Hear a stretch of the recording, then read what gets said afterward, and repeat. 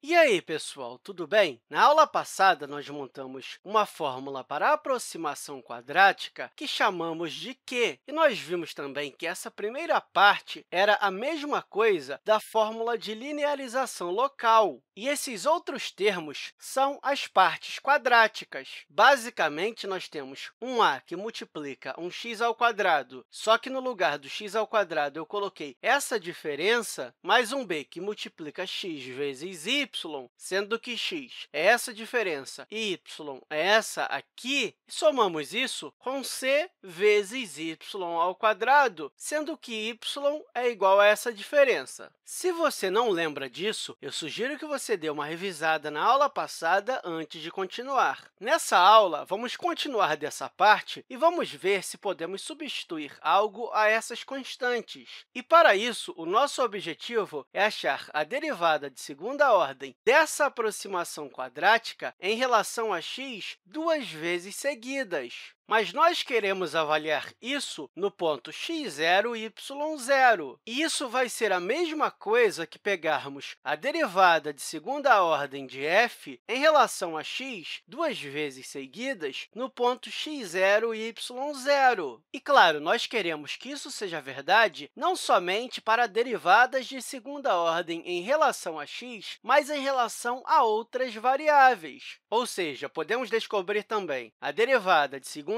ordem da aproximação quadrática em relação a y em relação a x no ponto x0, y0, isso é a mesma coisa que a derivada de segunda ordem de f em relação a x em relação a y. E, claro, avaliamos isso no ponto x0 e y0. E lembre-se, toda vez que você vai tomar a derivada de segunda ordem de uma função e você mistura duas variáveis, não importa a ordem que você pega, né? Você pode pegar primeiro e derivar em relação a x e depois derivar em relação a y, ou então derivar primeiro em relação a y e depois em relação a x. Essas duas coisas são iguais, mas existem algumas funções para as quais isso não é verdade. Mas nessa aula, vamos supor que estamos lidando com funções nas quais isso é verdade. E uma última coisa que devemos considerar é que, quando pegamos a derivada de segunda ordem dessa aproximação quadrática em relação a y duas vezes nesse ponto xy, isso é a mesma coisa que a derivada de segunda ordem da função f em relação a y duas vezes nesse ponto x0 e y0. Basicamente, o que eu estou dizendo aqui é que a derivada de segunda ordem de q é a mesma de f. Ok, então vamos olhar para a nossa função e pensar nas suas derivadas parciais. Ou seja, quais são as derivadas de primeira e segunda ordem. E, para isso, eu posso apagar essa parte aqui e deixar somente as derivadas parciais. Bem, a derivada de segunda ordem de q em relação a x duas vezes é igual à derivada em relação a x da aproximação quadrática, mas nós devemos considerar um termo de cada vez. Esse primeiro é uma constante, e a derivada de uma constante é zero. Então, essa parte dá zero. Esse segundo termo contém essa variável x, e quando tomamos a sua derivada, isso vai ser um termo linear, e, portanto, vamos ficar com essa constante na frente dele. Então, ficamos com a derivada parcial da função em relação a x no ponto x0, y0, mas essa parte aqui que não contém x, portanto, a derivada vai ser zero. E quando derivamos essa parte, em relação a x, esse 2 vem para frente do a, e aí vamos ficar com 2a, que multiplica x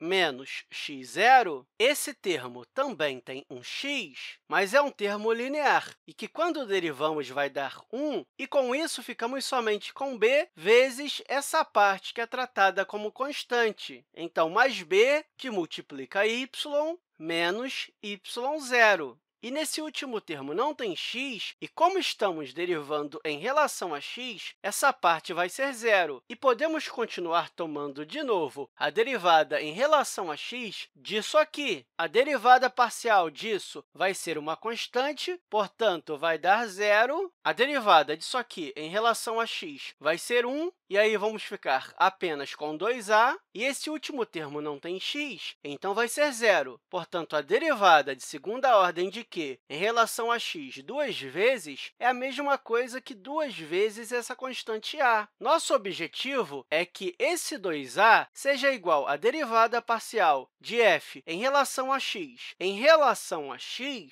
e, claro, eu estou usando uma notação diferente dessa aqui, que é a notação de Leibniz, mas nós queremos avaliar essa derivada parcial em x0 e y0. E, para que isso seja verdade, o a tem que ser igual a meio vezes a derivada parcial da função f em relação a x em relação a x no ponto x0, y0. Basicamente, eu igualei essas duas coisas e isolei esse a. Com isso, nós achamos a constante a. Podemos determinar as outras também. Para achar o b, nós podemos utilizar essa derivada parcial em relação a x em relação a y. Isso é a mesma coisa que pegar a derivada da função em relação a y, disso tudo aqui em relação a x, e eu posso selecionar e repetir ali. Então, quando derivamos isso aqui em relação a y, essa parte vai ser uma constante, essa aqui também, já que estamos fazendo isso em relação a y